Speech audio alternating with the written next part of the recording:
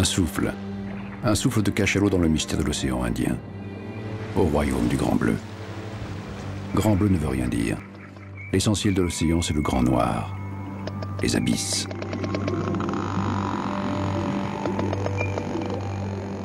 Dans la nuit éternelle, une invitation au voyage vertical. Aucun humain n'a jamais plongé jusqu'ici. Aucun n'y descendra jamais. Sauf dans une machine.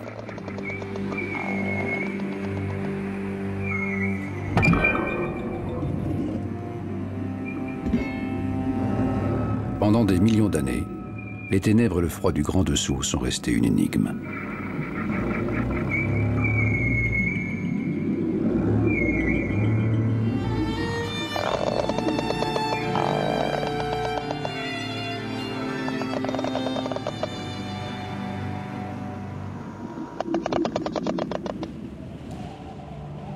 Au pays du calmar géant, voici l'histoire d'un clan de cétacés géants, le peuple du Grand Noir. Les cachalots, les grosses têtes, les plus gros cerveaux du monde, une espèce intelligente et sociable qui parle une langue dont les mots sont des clics. Voici cinq siècles, l'homme a doublé le cap des tempêtes et s'est risqué dans ces parages de terreur qu'il a nommé 40e rugissant.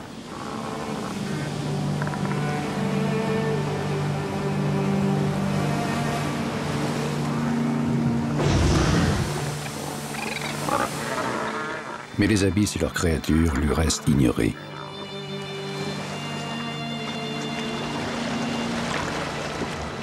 Les cachalots connaissent cet univers fantastique. Ils plongent à 3000 mètres et tiennent une heure et demie en apnée.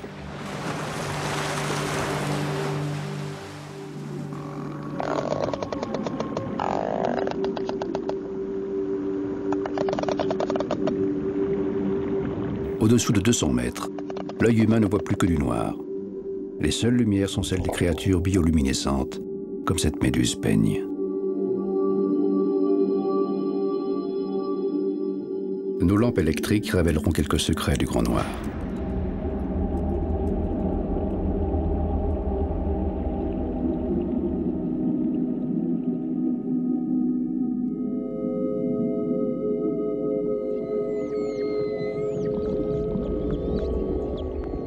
Les conditions de vie dans les abysses sont effroyables. L'obscurité totale, une eau glaciale, entre 0 et 1 degré, 100 fois la pression de l'atmosphère à 1000 mètres sous la surface.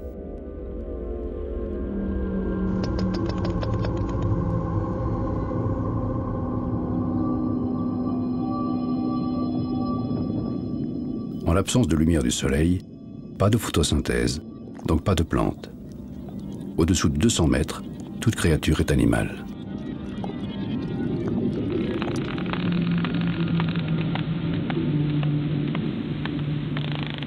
Parmi ceux-ci, le poulpe à oreille n'agite pas ses oreilles, mais ses nageoires.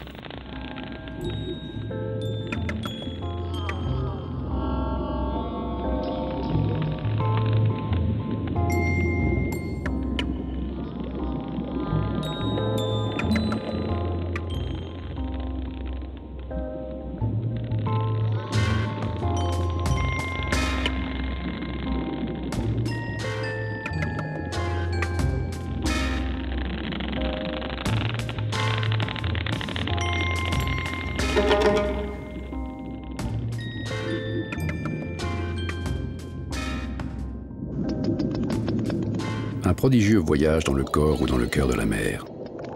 Une odyssée à la fois horizontale et verticale. L'histoire de ce clan de cachalots commence voici plus de deux siècles, près d'un archipel perdu de l'océan Indien, sur la route de l'Antarctique. Ces terres sont si glaciales et si ventées qu'aucun arbre n'y pousse. Ici, il pleut ou neige 300 jours par an.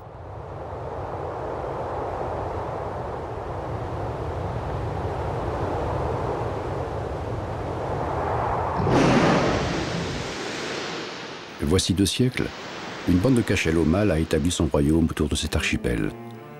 Les grands mâles s'accommodent des eaux froides, riches en nourriture.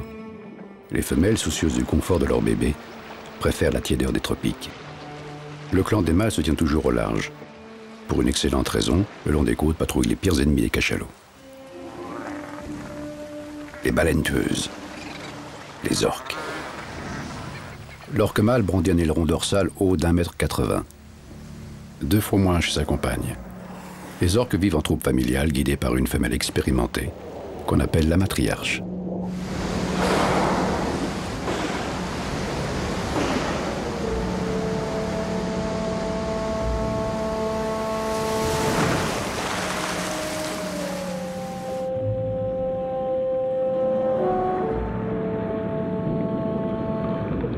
La matriarche a de bons yeux, mais voit encore mieux avec ses oreilles.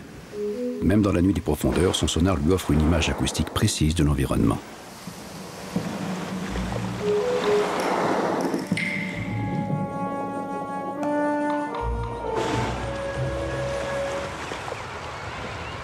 La troupe avance telle une brigade en campagne. Elle patrouille le long des côtes pour y déceler la moindre activité, par exemple le passage des manchots royaux. On en compte 2 millions sur l'archipel. Pour nourrir leurs poussins, les adultes effectuent d'incessants va-et-vient entre la terre et la houle.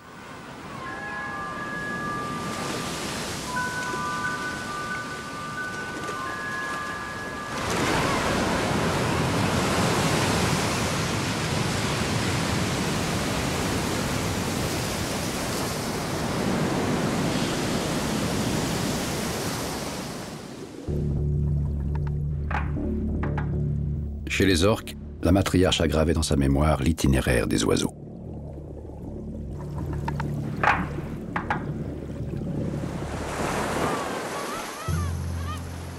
Les mâles en ont fait autant.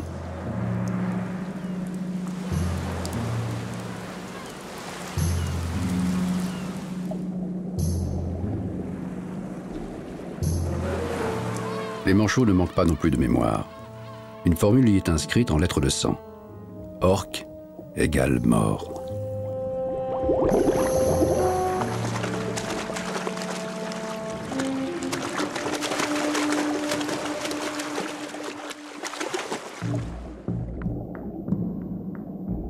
Sous l'eau, les faibles vibrations des manchots se confondent avec le vacarme ambiant. Pour localiser les oiseaux, la matriarche attend qu'ils crèvent bruyamment la surface pour respirer.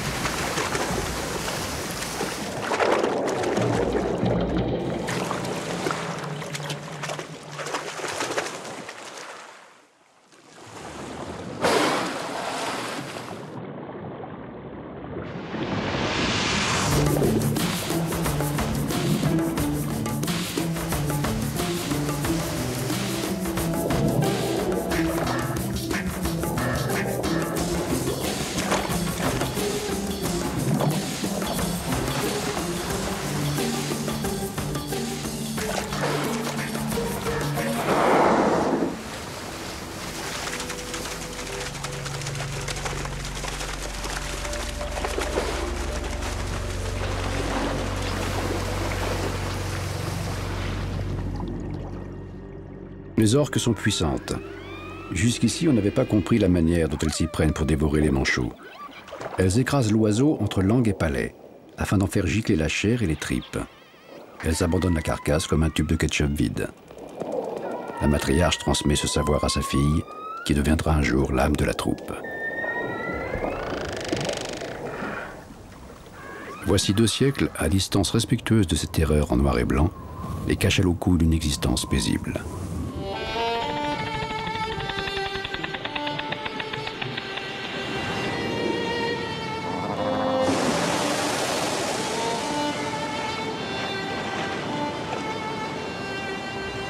Mais un jour, la ligne d'horizon accouche de visiteurs inquiétants. Ces intrus viennent d'un univers que les cachalots ne peuvent pas soupçonner. Ce sont des hommes, bien sûr, mais pas n'importe lesquels. Partis de la Nouvelle-Angleterre, profession, baleinier. Les Américains ont lu les récits du français Marion Dufresne. En 1772, fasciné par la légende du grand continent austral, ce marin double le cap de Bonne-Espérance à 46 degrés de latitude sud, dans une mer qu'il décrit comme grouillante de monstres, il trouve cet archipel. Il en prend possession pour la France et lui donne le nom du second de son navire, Crozet.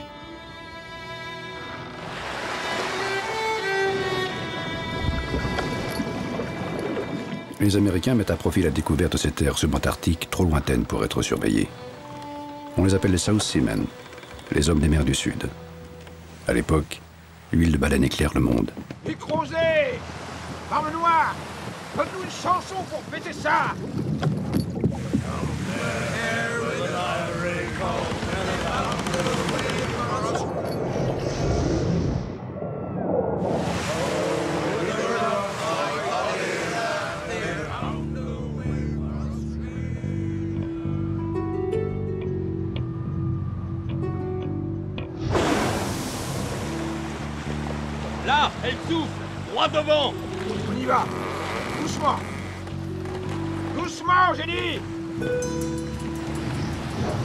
Affalez les perroquets. La forme du souffle du cachalot le trahit. C'est le seul cétacé qui envoie son panache par un unique évent, du côté gauche et à 45 degrés vers l'avant. Descendez ma chaloupe. À bâbord Barbe noire à toi, Moussaillon, avec moi. Donnez-moi la canon Rame tribord, mon garçon. Soupe, mon Dieu. Soupe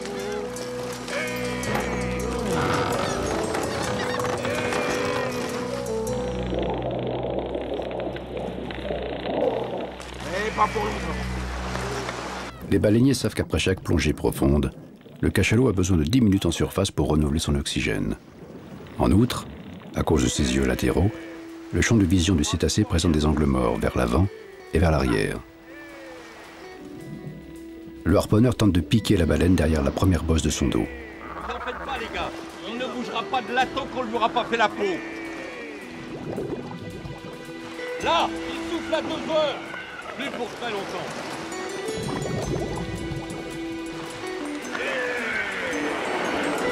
Attention Il nous échappe.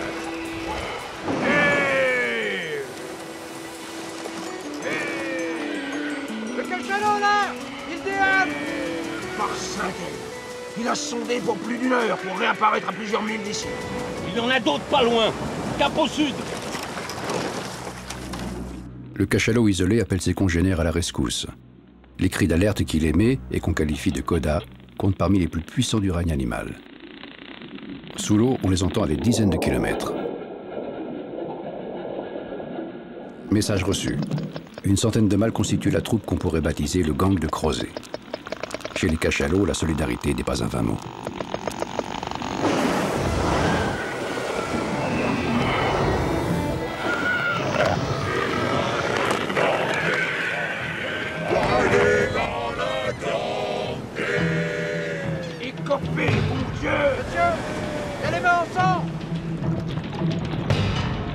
De Moby Dick, les déferlants des 40e rugissants sont durs aussi pour les baleiniers. Les cétacés écoutent à la fois leur instinct et leur intelligence. Le mot d'ordre est de rester groupés, pour se nourrir comme pour affronter les périls. À l'inverse, les humains cherchent à disloquer le clan, à isoler un individu. Question de patience et d'expérience. Lorsque le cachalot dominant a identifié un danger, il l'affronte en combat frontal, comme un rival à la saison des amours. En assimilant la chaloupe à un concurrent, celui-ci signe sa perte.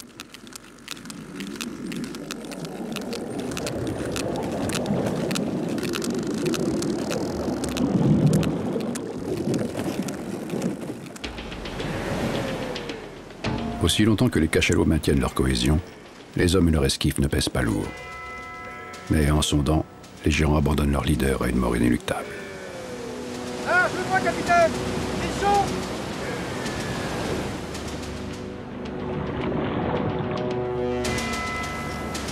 Il est encore parti. Elle ne bougera pas de là tant qu'on ne lui aura pas fait la peau. Là, elle souffle Droit devant. Doucement, les gars. Tout doux Maintenant Montrez-lui par bonheur, pique-lui la peau, fais-le fleurir, envoie-le au diable.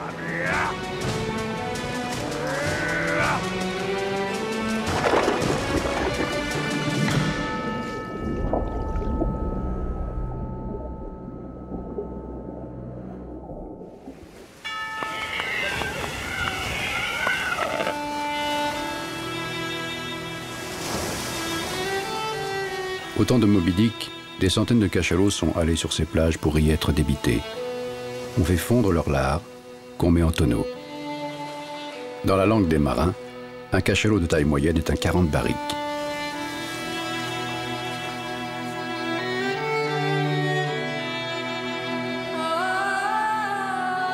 Les baleiniers apprennent aussi à dépecer leurs prises à flanc de navire et à traiter la graisse à bord.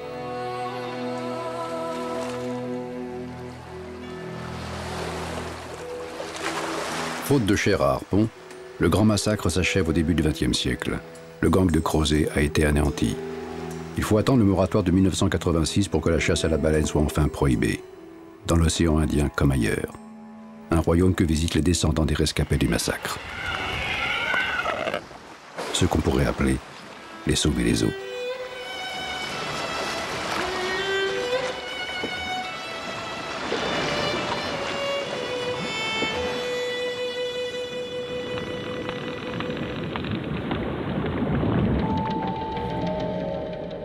Les abysses, le premier maillon de la chaîne alimentaire tombe de la surface, souvent de débris en tout genre.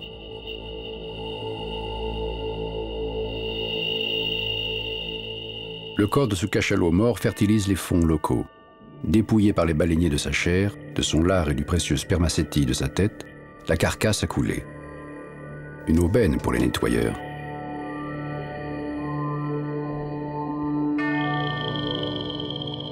Au cimetière des abysses, les recycleurs prospèrent.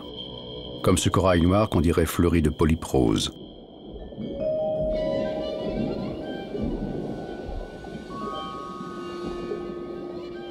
Ce poisson trépied.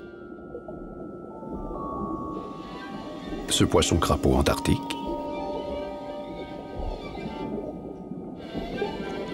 Ou ce concombre de mer atypique qui nage en pleine eau au lieu de se traîner sur le sédiment.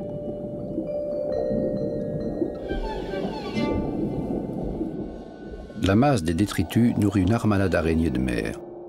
Ces nettoyeuses se rassemblent par millions. Elles attirent des prédateurs contre lesquels elles n'ont d'autre défense que leur carapace épineuse.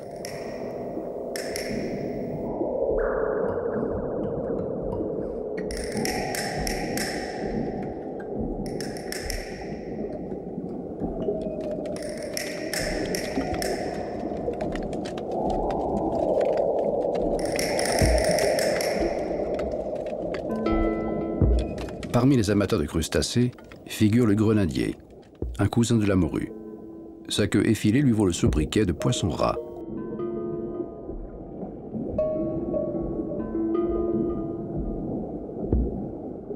Il communique avec ses congénères grâce à une vessie natatoire qu'il fait résonner comme un tambour. Cet organe le rend vulnérable aux variations de pression liées à la profondeur.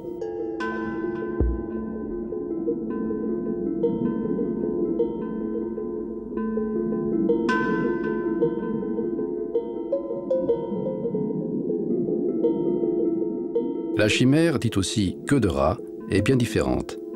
Elle n'a pas de vessie natatoire. C'est un fossile vivant, un poisson cartilagineux ancestral, proche des requins.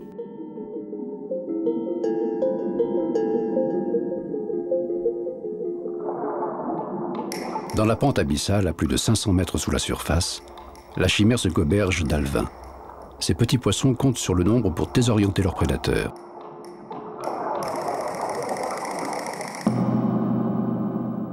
Pour les alvins, le plus terrible ennemi n'est pas la chimère. Il possède des dents acérées et de gros yeux qui détectent le moindre reflet. Il peut peser 300 kilos et mesurer 1,80 m de longueur. Ce chasseur implacable, c'est la légine.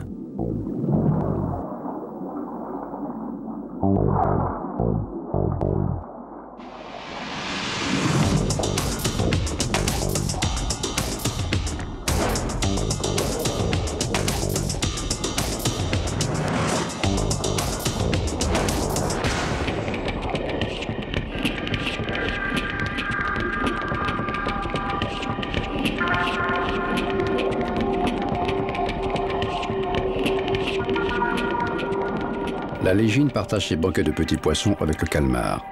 Ce dernier saisit ses proies en projetant vers l'avant deux tentacules spécialisés. Il arrive aussi que le calmar figure au menu de la légine.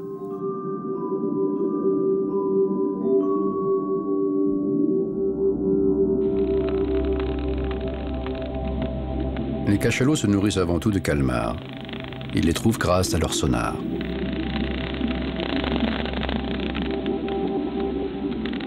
Ils émettent des clics que la bosse de leur tête amplifie et dirige.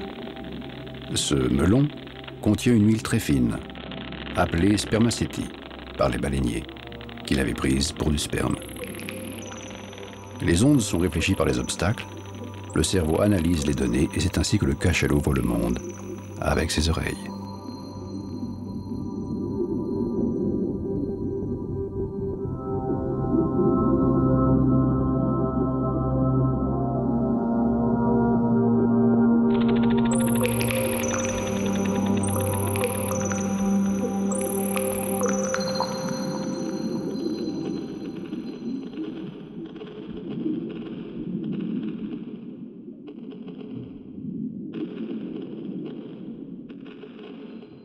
Première fois à la fin du XXe siècle, les cachalots de Crozet perçoivent des émissions sonores qui ne proviennent pas de cétacés.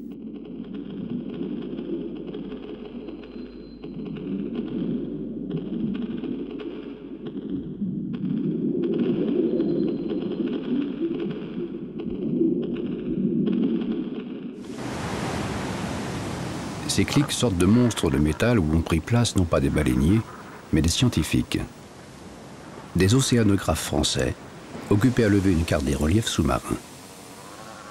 Carte des abysses, les cétacés de Crozet l'ont depuis longtemps dans la tête, en bien plus précis. À certaines époques, quelques-uns d'entre eux ont en effet le privilège de gagner les eaux chaudes des tropiques où se tiennent les troupes de femelles.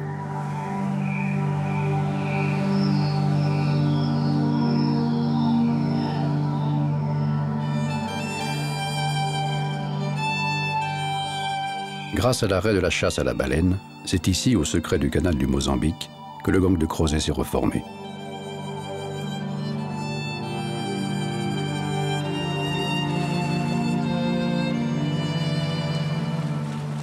Voici le fief d'une grande femelle, une chef, une matriarche, entourée de ses filles, petites filles et des jeunes de la famille au sens large. Les sociétés de cachalots sont matriarcales, Malgré leurs 18 mètres de longueur et leurs 60 tonnes, contre 12 mètres et 15 tonnes pour les femelles, les mâles adultes en sont exclus. De temps à autre, l'un d'eux, un dominant qui a conquis sa place de haute lutte, vient présenter ses hommages à une belle afin de perpétuer l'espèce.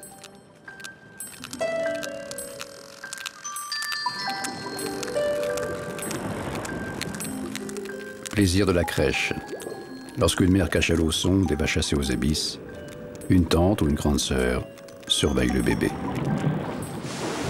Les petits apprennent la signification des clics, des codas, des sifflements de leur espèce, qui constituent un langage, au même titre que le code morse des humains ou les dialogues de tambour des villages africains.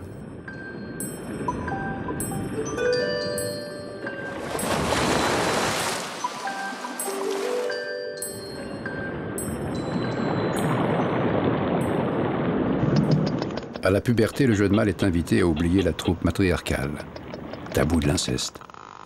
Il s'associe avec d'autres adolescents qui constituent des bandes de célibataires ou bacheliers. À l'âge adulte, cap au sud, vers le royaume de Crozet.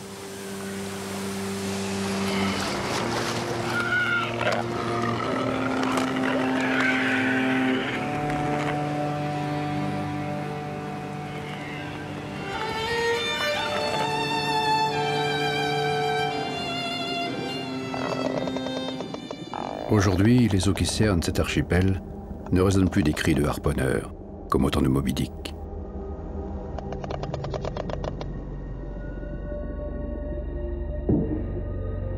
Les fonds répercutent d'étranges sonorités métalliques.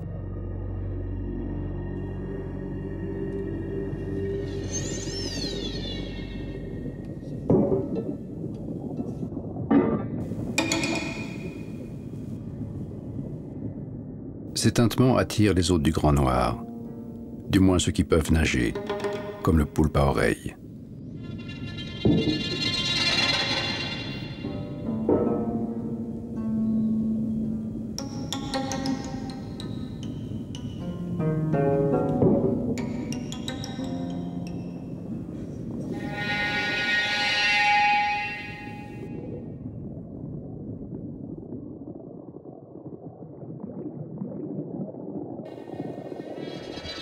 Restaurant et le menu consistent en de longs filins garnis d'absons tombés du ciel.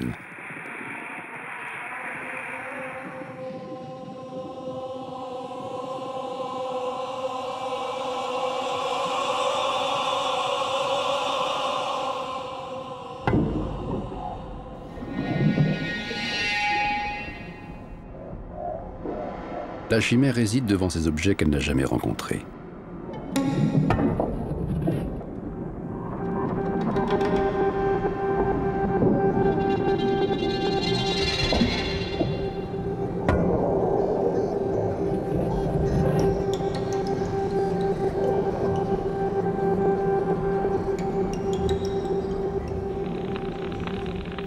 Le cachalot peut observer la scène. Il la voit avec ses oreilles.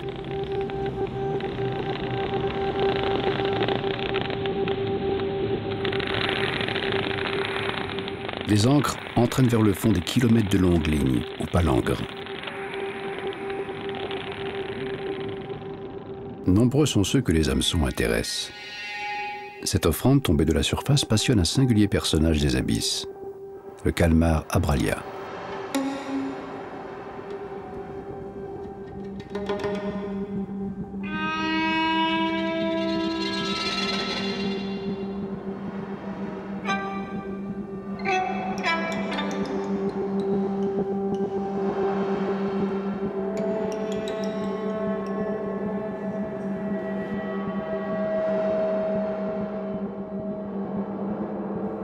Petit peuple du Grand Noir se presse pour profiter de l'aubaine.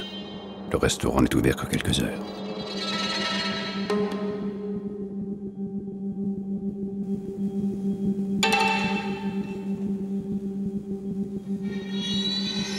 Les calmars boudent le menu. Cela leur sauve la vie. Tel ce tout nom antarctique, surnommé calmar volant, les céphalopodes se font rarement prendre au piège.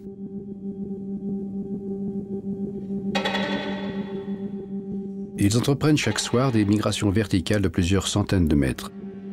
Ils gagnent la surface en quête de chair fraîche, puis redescendent à l'aube. Mais le dangereux gros cousin Ictototis est aussi mangeur de calmars.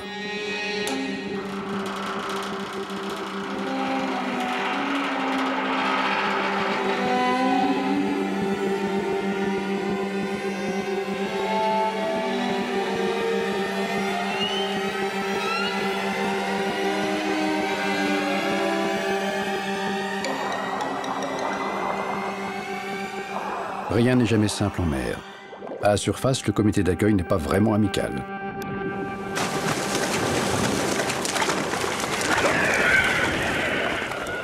Mais qui sont donc là-haut ceux qui jettent ces longues lignes?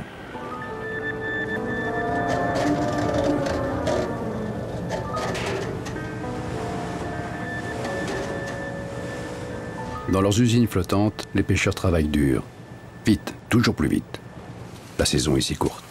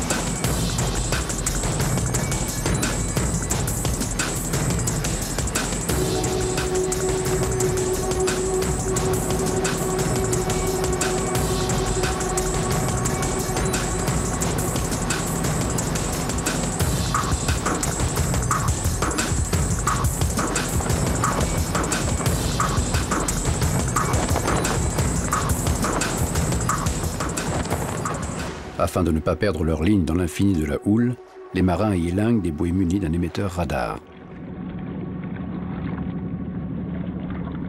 Toute cette agitation éveille l'attention des pires ennemis du cachalot.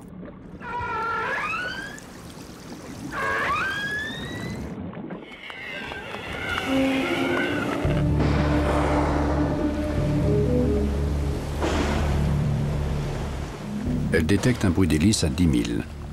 Elles sont curieuses et comprennent tout très vite. Elles se parlent dans un dialecte de clics, de sifflements et de grincements.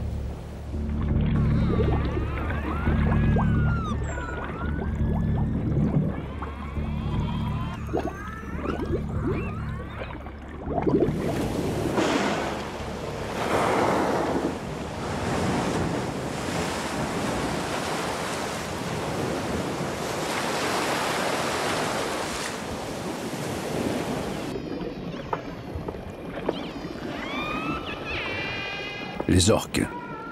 Les orques arrivent, menés par leur matriarche. Elles ne consacrent que 10% de leur temps à chasser. Le reste se passe en dialogue, en caresses, en sieste ou en jeu. Cette bouée décorative ferait un excellent jouet. Les croqueuses de manchots ne plongent pas aussi bien que les cachalots. Mais l'arrivée des palangriers modifie les comportements animaux. Les hélices attirent le petit peuple des 40e rugissants. Peu connus des hommes, voici les dauphins porte-croix, endémiques de ces latitudes. On les appelle aussi sabliers. Le dessin de leurs flancs rappelle le symbole du temps qui passe.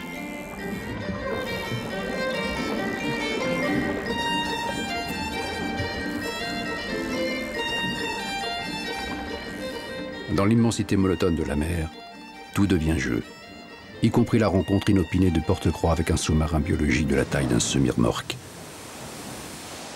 Le grand cachalot.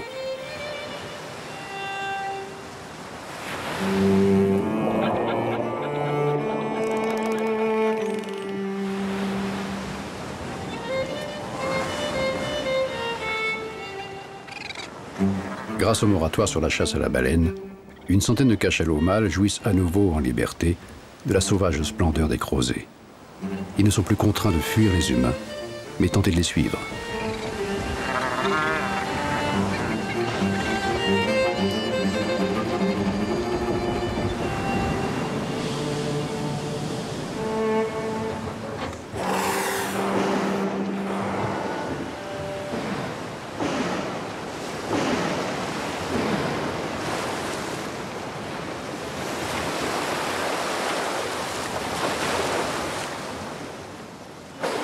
Se demande-t-il peut-être, faut-il que les orques pointent l'aileron dans cette harmonie?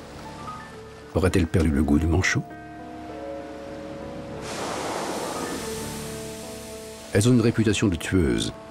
Elles pourraient attaquer, même si leurs grands cousins sont trois fois plus longs et vingt fois plus lourds qu'elles.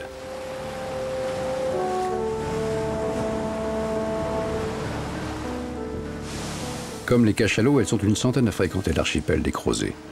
Mais elles n'en bougent pas. Elles sont sédentaires. Pour l'instant, elles ignorent leurs parents, c'est assez. On dirait qu'elles attendent quelque chose.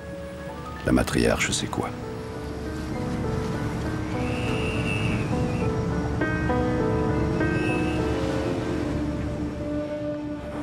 Elle entraîne sa famille dans le sillage du navire jusqu'à ce que les marins repêchent la bouée.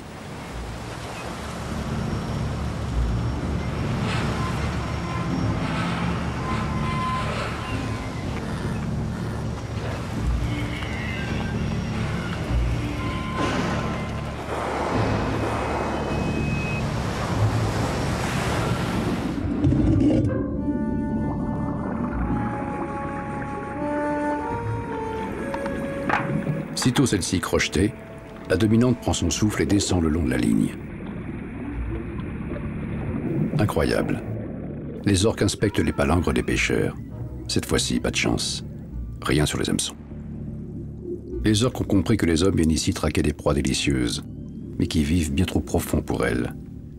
Elles ont la ferme intention d'en profiter, si ce n'est pas l'intelligence. Un cachalot aurait pu leur dire qu'il n'y avait rien sur les leurs. Les cachalots plongent beaucoup mieux que les orques. Celle-ci s'arrête vers 300 mètres. En dessous, rien à craindre. Le cachalot descend dix fois plus bas. Une heure et demie de rêve au grand noir.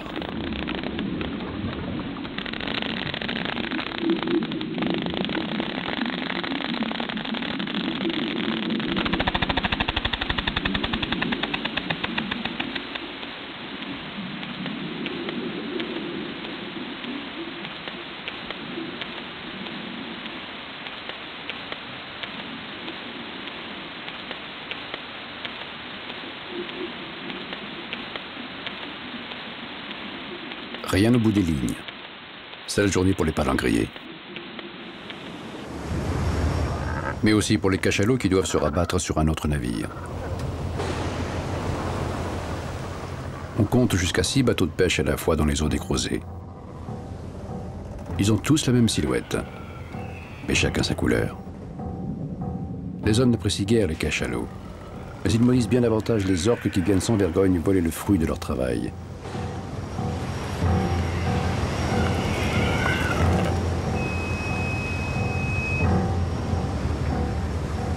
Seule solution, en avant toute, et tenter de semer les pillardes, fût-ce au prix d'un détour de plusieurs dizaines de milles. Problème, à peine le palangrier blanc a-t-il entamé la manœuvre que déjà les orques l'ont rejoint. Elles n'ont pas l'air de vouloir lâcher prise.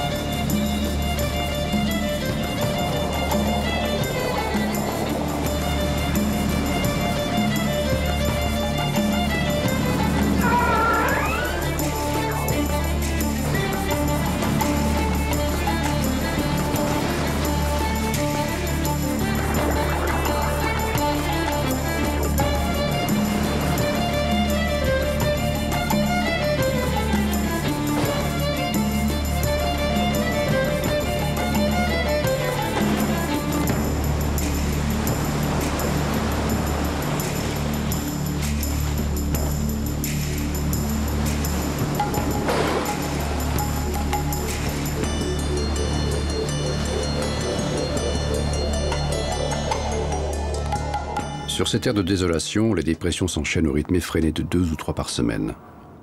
Au Crozet, les vents se déchaînent à plus de 200 km/h. À cette vitesse, la nature remet en question ses propres lois.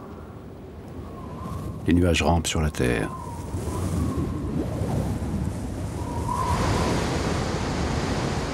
Les cascades tombent vers le ciel.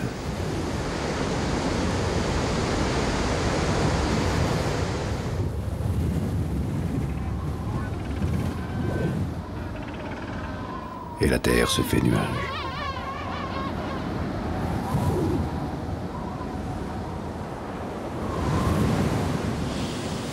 Poussée par des vents d'ouest qu'aucun obstacle ne freine, la grande houle de l'océan austral tourne, tourne autour de l'Antarctique et se déchire sur les falaises en levant les plus colossales vagues du monde.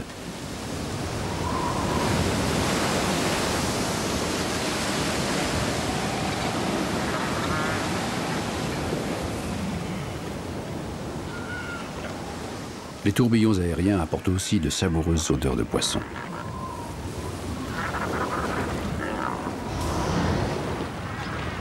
Chacun tente de repérer un bruit lointain parmi les ondes de tempête.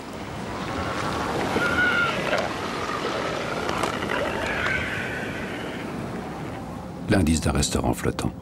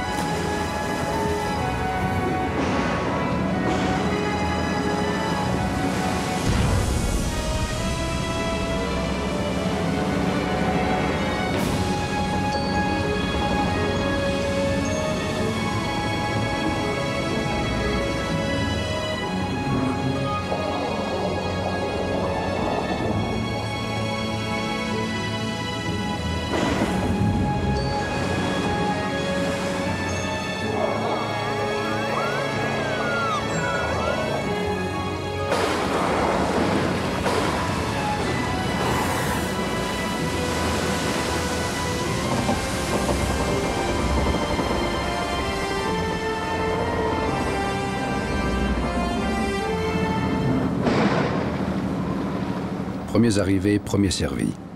Les oiseaux de mer. Et les orques, bien sûr.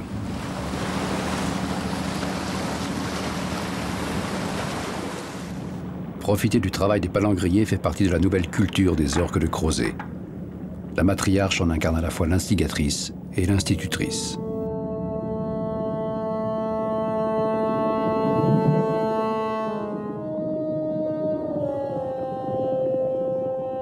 Les mâles ne participent à rien. Le pacha ne se donne même pas la peine d'aller voir. Il attend en surface que les femelles viennent le nourrir. Le trésor que les hommes cherchent ici, c'est celui du Grand Noir. Les grenadiers, les chimères et surtout les légines. Les plus prisés, donc les plus chers.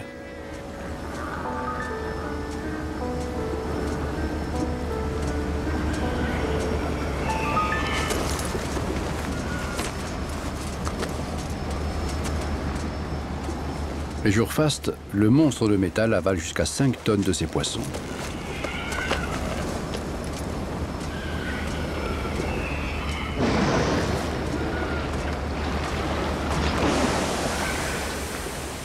Le grand cachalot finit par arriver, à son train.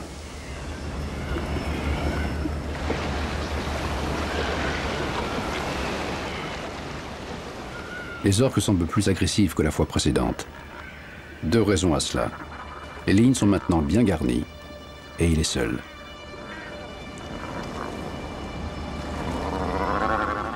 La matriarche des orques a la ferme intention de réserver l'accès du restaurant à sa famille. Elle rassemble sa troupe. Le cachalot connaît ce manège. Cela s'appelle de l'intimidation. Il se place le long du navire, un côté de moins surveillé.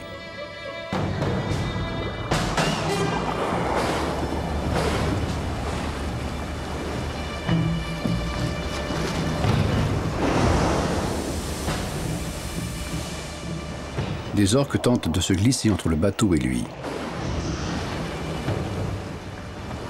La matriarche le suit comme son ombre pour indiquer sa position à son clan.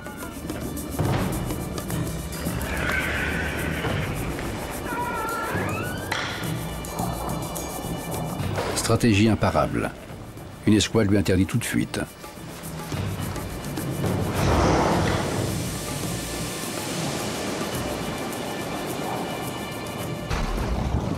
La matriarche et sa famille déploient le grand jeu pour ruiner le moral de l'adversaire. Détonation sous-marine, bulles crachées par les vents.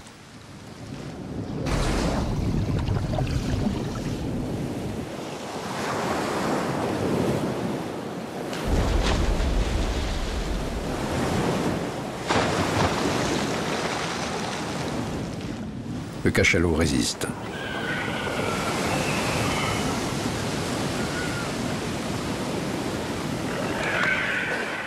Mais il est cerné.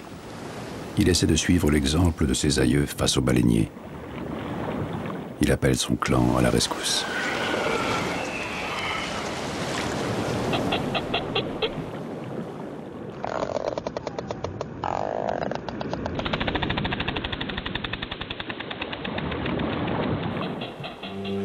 Hélas, personne à moins de 10 km pour détecter ses cris.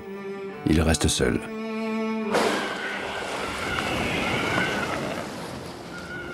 Face à la meute en uniforme noir et blanc, sa taille et son poids deviennent un handicap. L'orque mâle l'empêche de sonder. Le blocus est partout, même en dessous.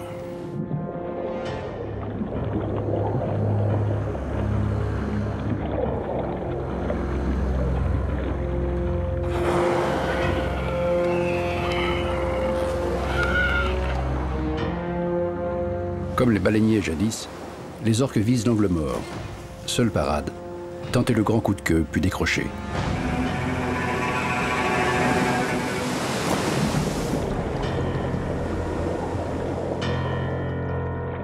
Raté. Elles sont trop rapides, trop nombreuses, trop bruyantes.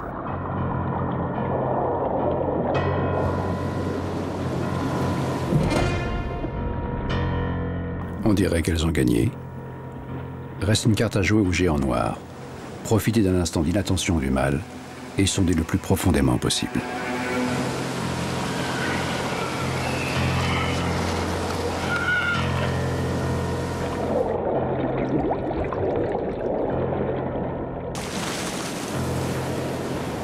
C'est parti.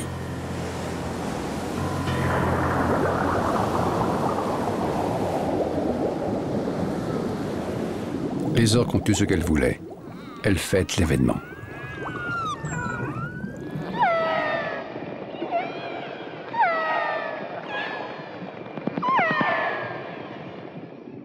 Dans la nature, les puissants prédateurs se défient, mais passent rarement à l'acte.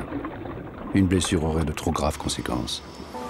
Le cachalot n'allait pas risquer sa santé pour quelques légines, alors que les abysses lui offrent généreusement les deux tonnes de nourriture dont il a besoin chaque jour.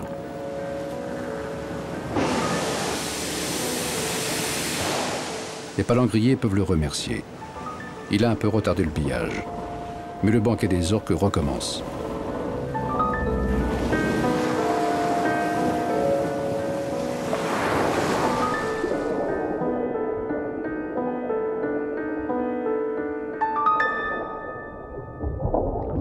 Les orques font même la fine bouche lorsque la légine n'est pas au menu.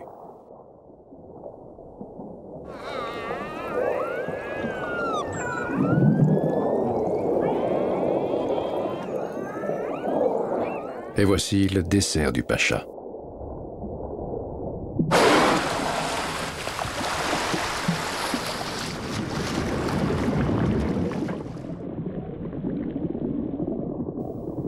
Une récompense que guettaient d'autres profiteurs, comme ces pétrels à menton blanc.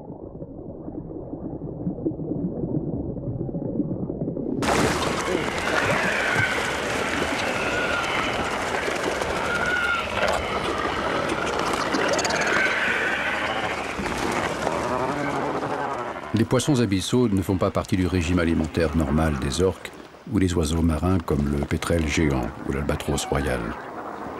En jetant ses palangres dans le grand noir, l'homme bouleverse la donne écologique. Nombre de locataires des mers australes ont modifié leur comportement pour accéder à cette manne.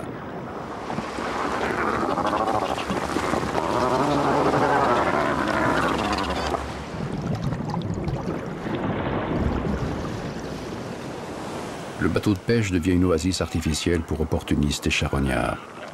Une sorte de fontaine miraculeuse de protéines.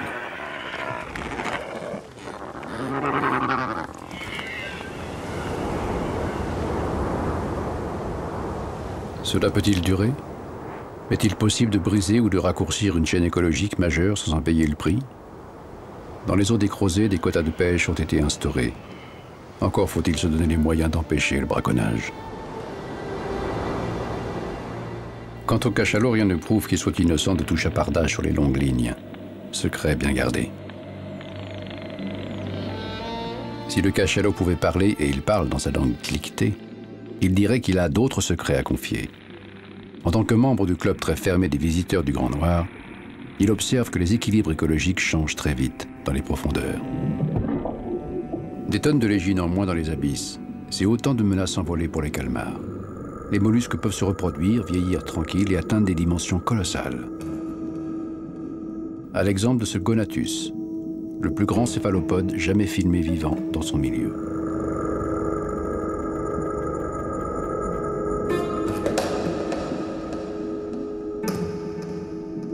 Longues de 30 cm, les coquilles de clams géants de l'arrière-plan permettent d'estimer la taille du mollusque à 3,50 m.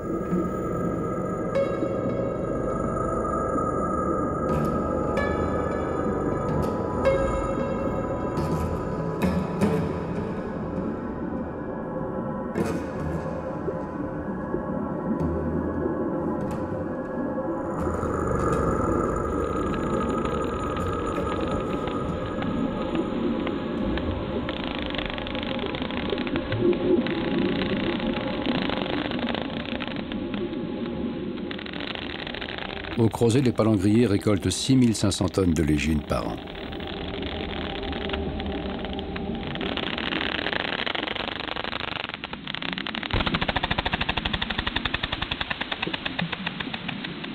Les quelques 100 cachalots de l'archipel engloutissent 10 fois plus de nourriture.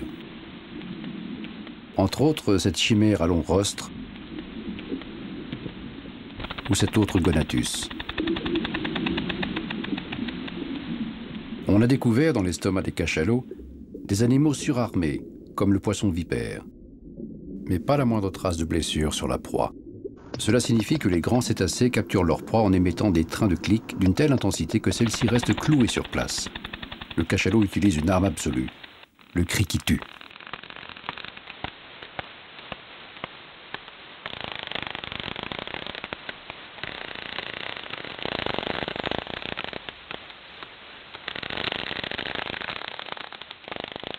C'est un des secrets du Grand Noir.